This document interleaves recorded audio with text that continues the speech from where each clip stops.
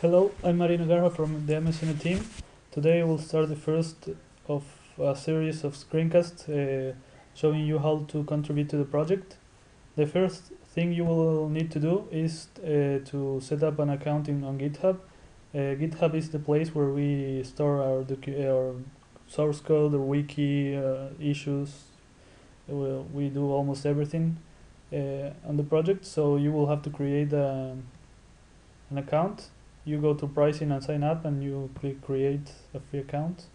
I already have one so I will go to login. Once you have your account created you can go and login.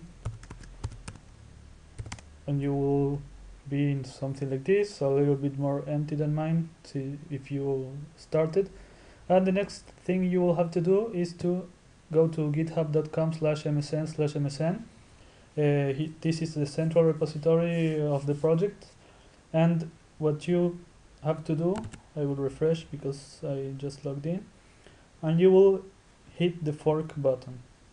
What this will do is uh, it will fork it will copy the repository to your uh, account. So now instead of um, github.com slash emesene slash emesene it will be github.com slash Guerra or your user of course slash emesene and uh, it will have all the status of the repository as it is today.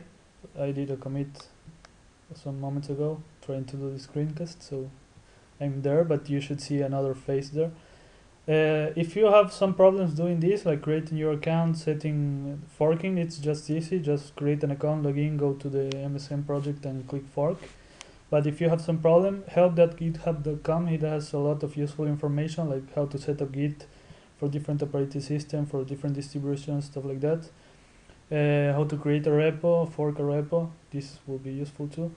Uh, if your doubt is uh, emesene specific you can uh, ask in the emesene group where you should be already if you want to contribute because there you will be able to make questions and stuff like that the next thing you will have to do uh, is to clone the repository. That means uh, bringing uh, the repository, of the code and the changes uh, to your local computer.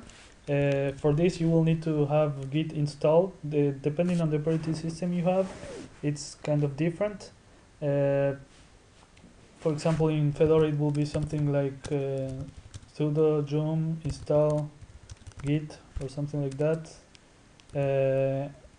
On Debian it will be sudo apt get install git core. Uh, on Mac it will be something like uh, sudo brew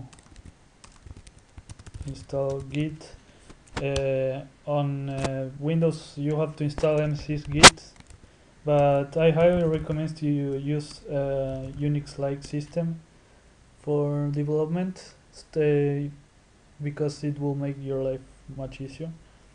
Uh, on the next uh, screencast I will clone the repository and uh, do a change and do a pull request.